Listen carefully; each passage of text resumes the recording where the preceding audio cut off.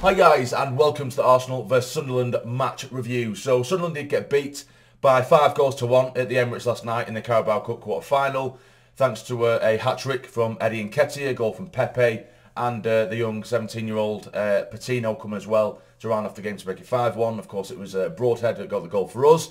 But uh, in terms of the performance itself and just uh, what I was feeling coming away from that game, I was generally very, very proud of not just the team but the club in general. You know, the fans were, were amazing from start to finish, chanting from start to finish. They packed that away end and uh, it made a lot of noise. Um, and, and the performance on the pitch, you know, the scoreline just doesn't tell the story for me.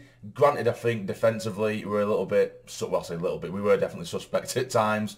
Um, but in terms of going forward and, you know, in the in the middle third, the final third as well, I think we just, we, we competed with them. I think we were absolutely fantastic, particularly in the first half, where I think for portions, large portions, in fact, I think that we were actually the better side. Say in the second half, their quality clearly just shone through and they ended up um, tearing us a new one really in the, in the second half. But that still didn't, you know, shy away from the fact that we're still making chances regardless of the scoreline. We, we didn't change, we didn't drop back, we weren't, you know, scared, we didn't let our heads go down. You can see that the lads were really just playing to the occasion regardless of the scoreline and that's what I was really, really proud with. You know, uh, like I said, you can easily just look at this game as black and white as a 5-1 defeat, but if you do look at the performance in general, there was a, a lot of heart, you know, to see players like Dan Neil, to see how he would play on that kind of stage, he was absolutely phenomenal, again, particularly in the first half. Winchester as well, I think he was very, very good. Um, Pritchard was excellent at times. Embleton as well, he could have got a goal himself, but he did get himself an assist. Uh, Broadhead got himself the goal, of course. Um, and you know got Stewart doing the dirty work as well up top. The press was fantastic. Again, the attitude was was great. We played some really really good football at times, and this is what I was saying in the uh, the preview to the game. Of course, Arsenal they're not really a, a physical side, and that's generally what we struggle with. You know, so they get really in your face and they hit you hard.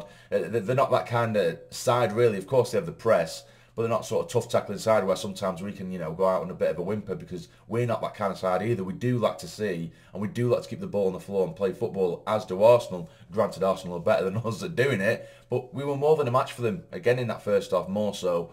Um, and we can see the personality to our game when you're up against the side, and of course when you've got a pitch like that, you know, a gorgeous, slick pitch like that at the Emirates, it, it it's really plays to our favour because at times we really did ourselves proud and we played just as good football as Arsenal did at times. Um, but getting into the game, of course, in the lineup, we had, did have Burge in goal. I do believe that Hoffmann may, I don't know whether this has been uh, confirmed, but I believe that Hoffmann may have actually got COVID, so uh, that's, a, that's a bummer. But um, we do uh, have uh, Bailey Wright, uh, we have Flanagan, Doyle, uh, Gooch, with Winchester as well, Neil, Embleton, Broadhead, Pritchard, and Stewart as well as the starting 11. And like I say, I, was saying, you know, as I was watching the game, I was in the pub watching the game, and uh, I was saying before, and I feel like if we weather the storm, which will be the sort of opening 10 minutes or so, I feel like our nerves will settle and we will start to play football and we will have the confidence. I believe that, that is exactly what happened, and I think both goals in the first half, they, they were just they were unfortunate really, because the first one it was uh, it was a decent save, a half decent save from uh, from Burge, and he's parried it straight onto the sort of at the knee of uh, Nketiah, who sort of just needed straight into the goal. The second one for Arsenal, that was a deflection, nothing Burge could have done about it. And so it was really, really unfortunate. Uh, don't get me wrong, I feel like down the wings they were getting there a little bit too easily. All it was was a couple of passes and either side, be on the left or the right, they were getting down to the byline far too easily. And that's what I mean defensively. We are a bit shaky, but again, they do have the quality, so I'm not going to knock the players too much. They do have the quality. But our goal was, for me, it was absolutely class. Maybe even the goal of the night. I'm maybe being a bit uh, too biased there. But I just felt the passing was so good. It was so slick. The triangles, the quick passing movement off the ball was absolutely excellent. It finds Embleton and he slides in Broadhead with a gorgeous finish from Broadhead as well, who dinks it um, over the oncoming keeper to make it 2-1. And I was going absolutely mad. You know, it could have been you know, 6-1, 7-1 at the time, and I will will celebrate it because we were so proud. And I'm so glad that the Sunderland fans at the Emirates had something to chant about and something to cheer on, um, despite the defeat. So, you know, we went in at half-time, it was 2-1, and like I say, we were competing. We really were competing. I was so proud of the lads.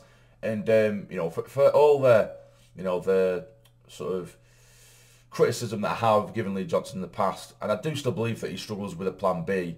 Um, the plan A he does have it, when it works, it looks good because he, he, wants to play football properly, and I do appreciate that. He, he's trying to get us uh, to play football, and what I did appreciate was just because it was Arsenal, we weren't just sitting back and then resorting to hoof football and just bumping upfield and just hoping that something will stick and hoping that something will happen. We're sticking to our game regardless of the opposition and the quality of the opposition, and it was really, really good to watch at times. I was so, so proud because we did put give it a really good account of ourselves.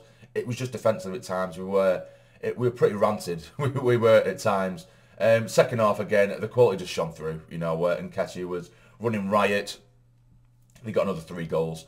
We uh, we could have got another one. Uh, with a great effort, curling effort that come off the post. Um, and when we did have chances, like I say, regardless of the scoreline, whatever time in the game it was, we're still making chances. We're still going for it. At not any point did any of their players get the head. Sorry, did they let their heads go down?